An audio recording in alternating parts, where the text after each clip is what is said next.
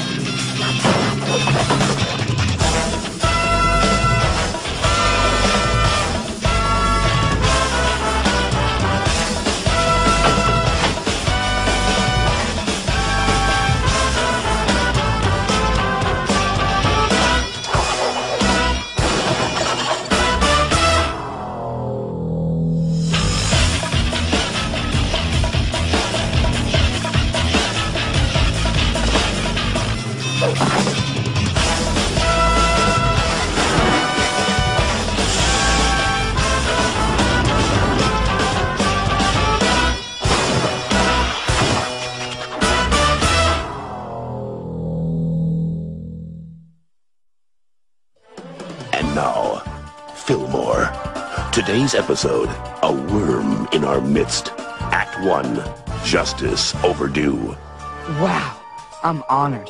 The ex-middle school shuffleboard team in my backyard.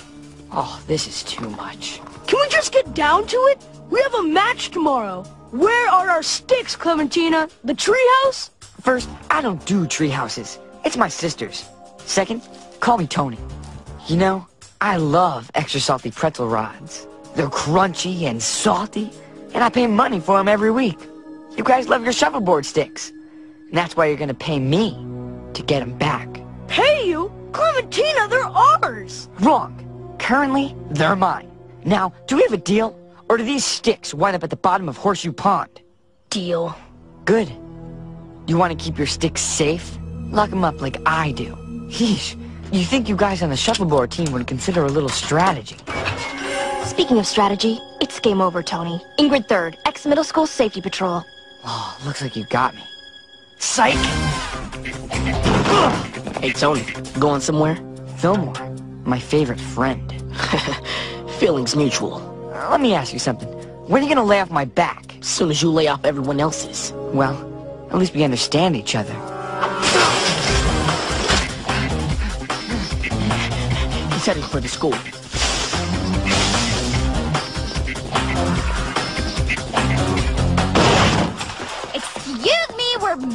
Meditating here. Excuse yourself, sister. What? Hi, Tony. Is your refrigerator running? Like you? Man, that was weak. Nowhere to go, Tony. Got one more exit. Hey, guess what, Tony? You don't. It's over, Clementina. Excuse me, but the book club is trying to have a discussion about the shortage of Lloyd Alexander books in the library. Fillmore!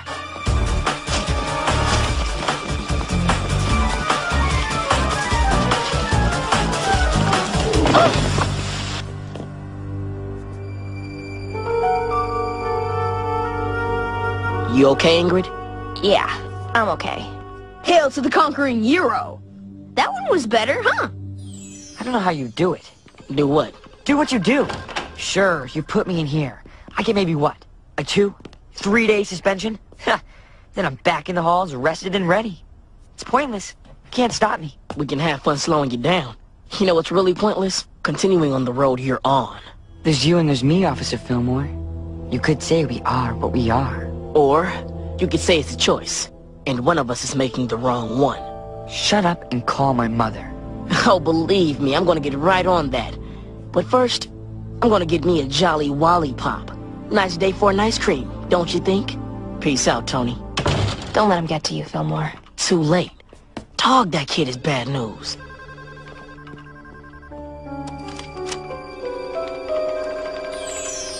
Whoa, steady, Bessie. My ladder's name is Bessie. Here you go. Looks like it's been up there a while. What is it? I don't know.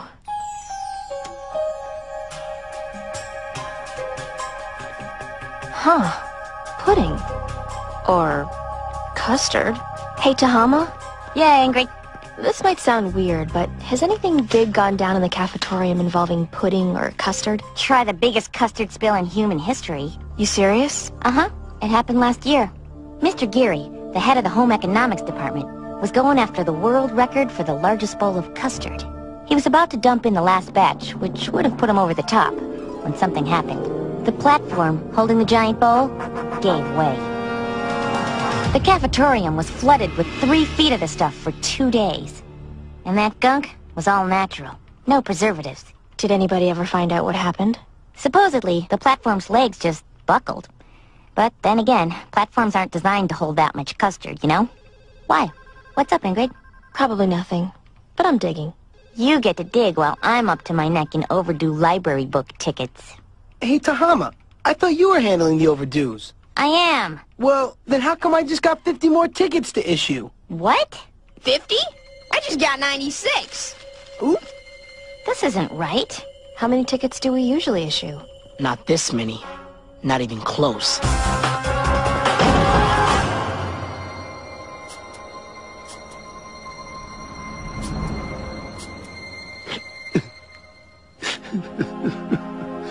I... I knew you'd be here sooner or later, Fillmore. Mr. Landrum, where are all the books? I... I don't know. This ain't good. Isn't. Isn't.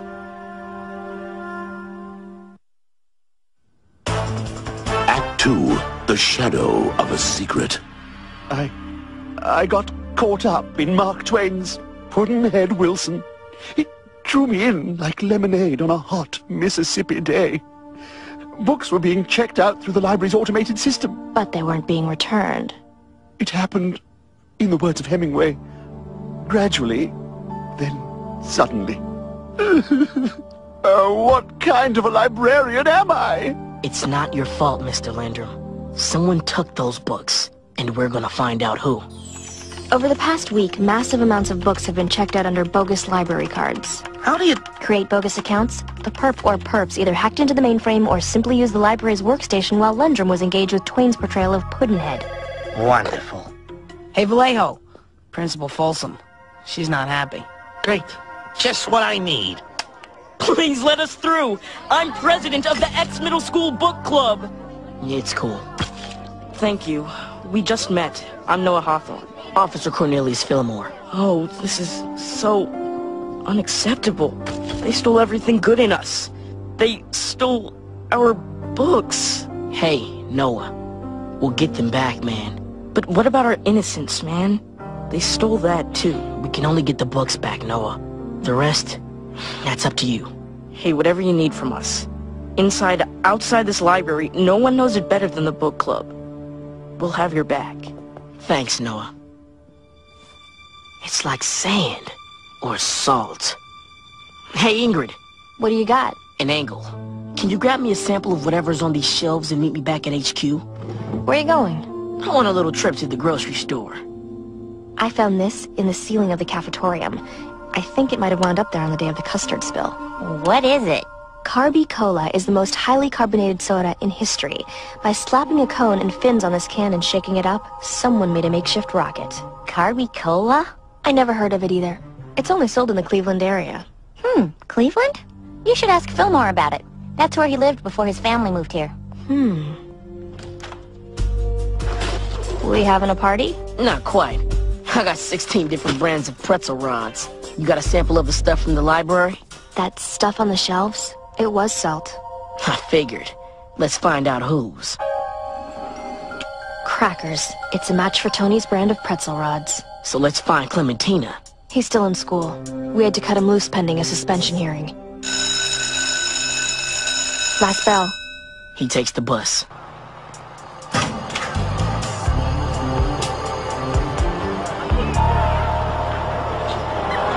Come on, hurry up.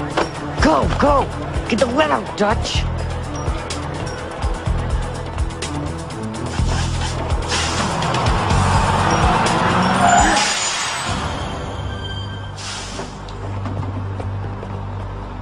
Freeze, Clementina. How about you freeze? Please, no! That's my balsam mahal. It, it took me weeks. It's priceless. It's to scale. Easy, Tony. Put down the model, Clementina. There's no way out of this. I'm not so sure of that, officers.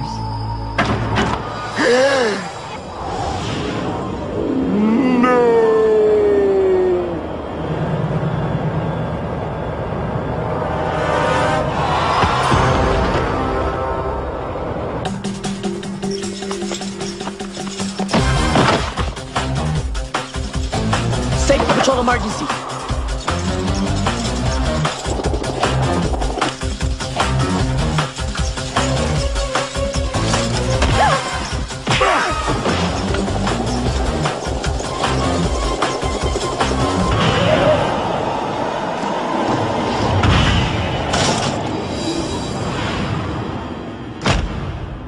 Just thought I'd drop in. Listen, I got nothing to hide. Just a library full of books. yeah, right. Check it. Knock off t-shirts for the Glee Club's upcoming retirement home tour. A little extracurricular copyright infringement. They're quality shirts. Where are the books? Books? Hey, Fillmore! Take a look. Disco. Congratulations, Officer Third. You got the books back. Well, it was Fillmore and me, Mr. Geary. Hmm. Somehow I doubt that. I'm sure it was you who took the lead. Last year, I told him he was a lost cause. I stand by that statement. This new Fillmore doesn't fool me for a moment. Bad eggs don't go good, Ingrid. Well, I don't really agree with that at all. Even a little bit. I wanted to ask you about the custard spill. Best thing that ever happened to me. Really? Yes. But the spill made me realize something. I'm darn good at making large volumes of good-tasting custard, and thus, I'm opening Sean Geary's Phantasmagorical Custard Palace. It's a dream come true.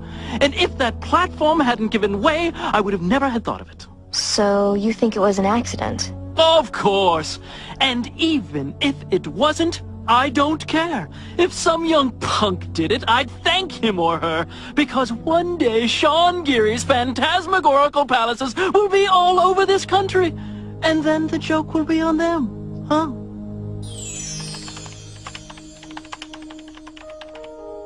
Okay, what do you want? A lesson. Okay, basic fingerprinting. Lesson 1. Take an everyday object, like Fillmore's coffee mug. Lightly dust it with talc. Cocoa will work too. Blow off the excess, and then carefully brush more dust off, leaving fingerprints. Want to keep the prints for your scrapbook? Take a strip of masking tape and lightly press it against a print. Peel it off, put it on a piece of black paper, and voila! Prints to go. Start practicing. You'll get the hang of it. Eventually. Come on. Ginchi. Crackers. Third, Ingrid. Can you meet me in the library? Something's up. Yeah. Uh, sure.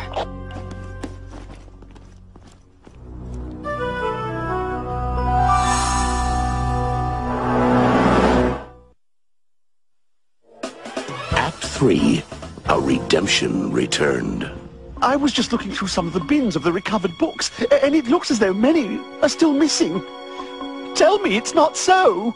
It is. A lot of authors are missing. Tolkien, Bronte, Rowling, Beverly Cleary. How did she... Photographic memory. Typical. As usual, the best books are gone. It's just like every other day in the library. Looks like we have some literature MIA. Let's go have a talk with Tony. Fillmore, I gotta talk to you about something. Is it cool if we talk to Clementina first? I'm asking once, Tony. Where are the other books? They must have got lost in the shuffle. This isn't about detention or suspension. This is it. You tell us where the books are or you're going down this time, Clementina. Expulsion, man. In ten years, they're gonna remember the name Tony Clementina. The guy who pulled off the biggest heist in ex-middle school history. Cornelius Fillmore? Maybe some people might remember some glorified crossing guard, but probably not. Take a good look down there, Clementina. This isn't lunch money. You're hurting every one of those people. Look at him, man. Wait. Crackers. Fillmore, let's talk. I don't think he did it. What? We found the books in the treehouse in his yard. But before, when I was hiding in the shed, I heard him say he doesn't do treehouses. Now I know why. Tony's afraid of heights, Fillmore. It's all right here. He wouldn't climb the big rope in gym. He wouldn't read Charlie in the Great Glass Elevator. He threw up during a screening of The Red Balloon. He freaked when you turned him towards the window. The way he hesitated, jumping out of the bus. There's no way he put those books in that treehouse.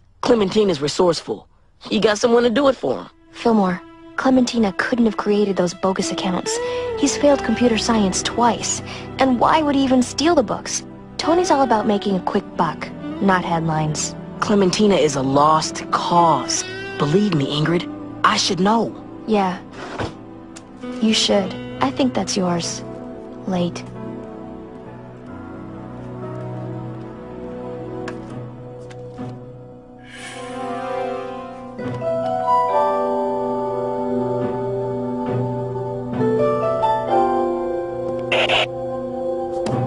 Third.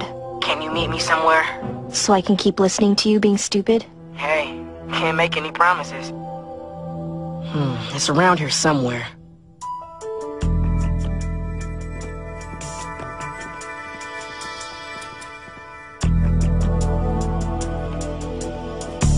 Disco, the platform. Is that custard? Uh-huh. Look at the legs. The platform gave way under the weight of the custard, Ingrid. But look at the top of the platform.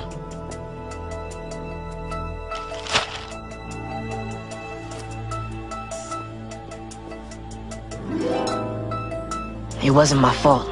But, well, it doesn't mean I didn't take my shot, Ingrid. You tried to bring it down. Tried. Mr. Geary had always come down on me for being such a thug, which I was. A few days before his try for the custard record, he called me a lost cause in class. I guess I wanted to prove him right.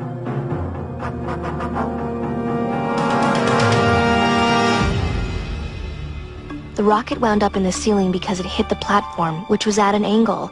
It was at an angle because its legs had already given way. You didn't cause the spill.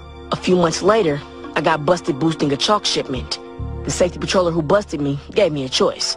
Either help him crack another case, or spend the rest of middle school in detention. I helped out, and I wound up joining up. You changed. Cause somebody gave me a chance. Something I wasn't about to give Clementina.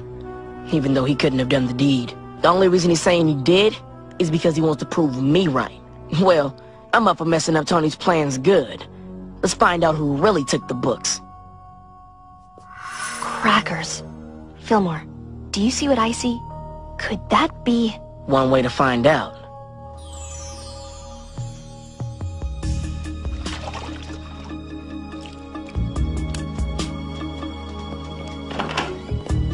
It wasn't about cash or headlines. It was about the books.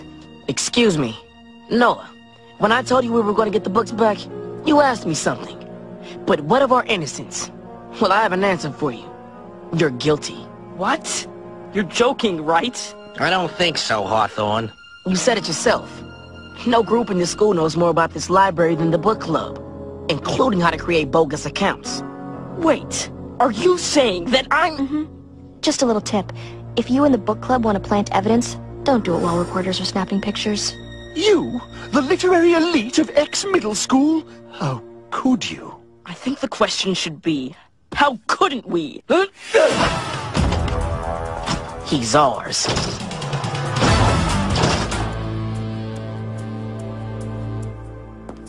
Have either of you seen my scale model of Mount Vesuvius? I just left it out here in the hall for a moment. Uh-oh.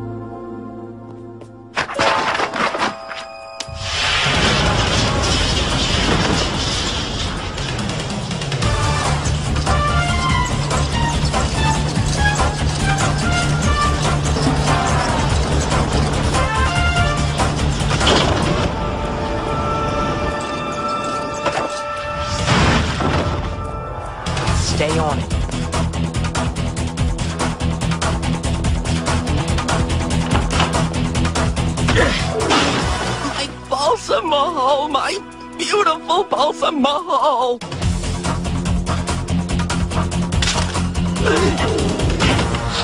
A moronic video game! You should learn to watch your step. You don't understand. We're the ones that truly appreciate those books. They should be available to us whenever we want them. That's why we did what we did.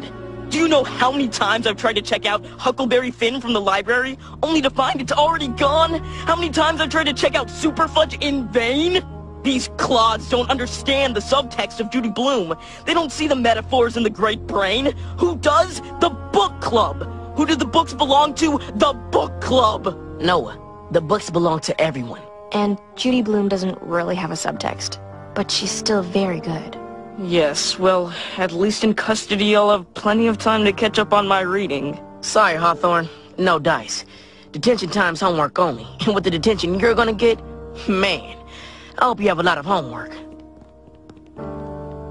You did a good job on the custard case. It wasn't a case. Nothing happened. Sometimes being a good detective means uncovering stuff you wish you hadn't. I'm glad you stayed on it. Because you helped me uncover some stuff I didn't want to. Thanks, Ingrid. Go ahead and book Noah. I'll catch up. What is it? I just gotta settle something. Hey, Clementina. Fillmore? You lose this? Yeah, I was packing up to go. It must have got away from me. Yeah, must have. But you can stop packing, because we caught the real book culprits. Sorry, but we all know you didn't pull the biggest heist in X history. You do now. I jumped to conclusions and I let myself get played like a sucker. But you didn't help. At least, not until Noah ran by your locker. That it? No. You know what, man? I don't think anyone's gonna remember much about this heist in 10 years. I don't think they're gonna remember you. And I don't think they're gonna remember me. You said we are what we are. I don't believe that. Because I used to be something else and someone helped turn it around for me. A lot of different roads lead to 10 years from now. And I think you may have just started another route. You need help along the way? You see me first, man. You know, the safety patrol has a softball team and we might be needing new shirts. And look like you do good work. Hey, those are quality shirts. I can get you in the saddle for 10 bucks per tee. 10 bucks? Man, I thought you were pulling away from a life of crime.